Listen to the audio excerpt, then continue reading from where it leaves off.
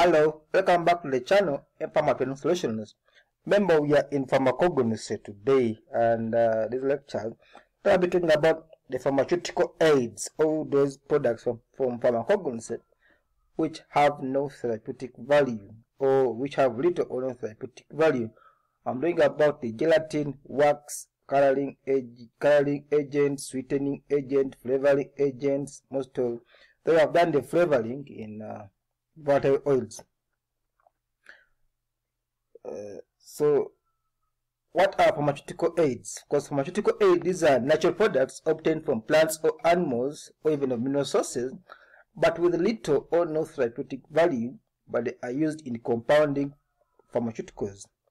Have flavoring agents, of course we know these ones, the volatile oils which we discussed earlier on coloring agents, sweetening agents, emulsifying agents, ointment bases. Now, ointment bases, uh, cocoa butter from cocoa, you know, from cacao. Sutures, of course, these are fibers, trichomes of uh, the raw cotton, saponins, and very many others. These are just simple examples. So, which are those pharmaceutical aids that we shall discuss in this in this in this presentation? Uh, we have uh, hard wax. Wax, of course, is a hard solid obtained uh, containing esters derived from higher monohydric alcohols combined with fatty acids. Now, uh, here I'll just give examples, but for example, with beeswax, there are types of beeswax. Eh? You need to know how to extract beeswax from from the combs, the honeycombs, Apis mellifera, and again, you need to know uh, how to test for beeswax. Eh? They are all there. They're in standard books, you know, because in standard books. Or you can contact us for more information. Lanolin, wool wax, also shellac wax from the lac insect. Toria laca, vegetable waxes. Now, these are the Kanaubwa wax, eh? Kanaubwa, Kanaubwa wax, Kanaubwa wax. The leaves of Copernica, Copernicicia, Cerifera. Now, I remember I, I, asked for forgiveness earlier in case I pronounce the names poorly, but um, I know we can go on and show you know the spelling. Uh, we have minerals wax or petroleum wax. Of course, these ones are used as uh, ointment uh, in ointments, of course, as bases or as emulsifiers. Let's go to gelatin. Because gelatin is a product obtained by partial hydrolysis of animal collagen derived from skin of porcine or bovine, that is the bones, uh, and uh, of course other connective tissues. Now, again, there are types of uh, gelatin. We have type A, of course, type A obtained from hydrolysis of pork skin, I suppose it's porcine, or type B, the hard gelatin obtained by hydrolysis of animal bones. Eh? They give tap and form hard gelatin. Now, again, there are processes of extracting each gelatin from each sources, from each source. Eh? There are steps which are supposed to be followed. What, uh, what are the uses and tests for this gelatin, the bloom strength and all those other tests I'm sure you are aware of. Of course, what are the uses? The, cost, the constituent of capsule shell, this is very important, and of course, in this is supposed to we have glycogelatin base, and of course the thickening agent.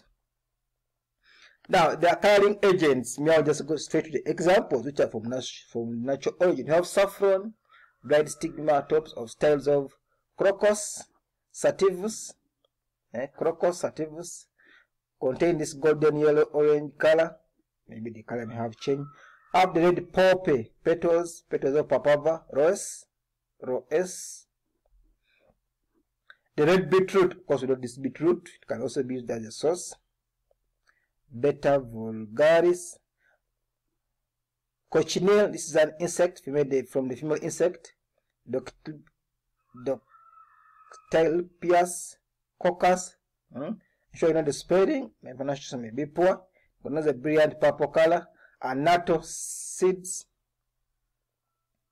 From this, Bixa orellana also the red rose, the red, the red rose petals, eh? the red petals of Rosa gallica. Now, uh, today, most of today's uh, coloring agents we see, they are obtained from synthetic sources. But uh, again, there are those colors which can be obtained from natural, because we are in pharmacognosy, we, are, we want everything to be natural. We have minerals, we have talc, uh, talc obtained from magnesium silicate, used the lubricant of tablets, using lubricant, used as a lubricant in tableting. Kaolin, dusting powder or the area, bentonite in creams, diatomite, this one of course is tasteless grey white powder, it, was, it is used in filling of teeth. Now, however, these minerals I've, I've explained here, they are those which act as aids, but we have the minerals which are of pharmaceutical importance. Sodium chloride, name them, magnesium sulfate, name them, you know them. But they are mean those ones which are which have little or no therapeutic value. Let, let me briefly explain nutraceuticals. Uh, uh, nutraceutical, this is a substance that is a food or part of a food which, in addition to its normal mineral, mineral value, provides a medicinal or health benefit, including the prevention and treatment of diseases. Now, this is this, of course we know that most foods contain nutrients. However, they can also be used to prevent uh, uh, diseases. We have the probiotics. These are live microorganisms, bacteria that promote the gut health. Know, with a good gut health, uh, you can it is, it is okay. We have lactobacillus acidophilus. Where do we find this? Is it in yogurt? I don't know where. Have the prebiotics. These are non-digestive substances that restore natural balance of microflora and enrich the colon. Hmm? These are the prebiotics. They are very important because with the normal microflora uh, because when you overtake antibiotics, you can get super infection because of uh, you are killing the microorganism and you are leaving uh, the fungi to grow. That's why uh, you know all our gut they have these microorganisms which are very important. Others, uh, calcium, of course we know calcium, we have vitamins, we have zinc, zinc is used in children who have diarrhea. Ginkgoba, this one is used in memorials. I think I've looked at this one later on. Flaxseed is very important to prevent cancer and reduce blood pressure and lower cholesterol, even diabetes. Flaxseed, this one is, is available in supermarkets. It's a small seed. We have garlic, of course, you know the use of garlic, you know, ginseng, improves stamina. Soya beans is used in, uh, because it contains estrogen-like components, so it is good in menopausal women who have those issues. Ginger and very many others. Uh, so this is just a simple explanation about nutraceuticals. Eh? Again, it has been a short presentation.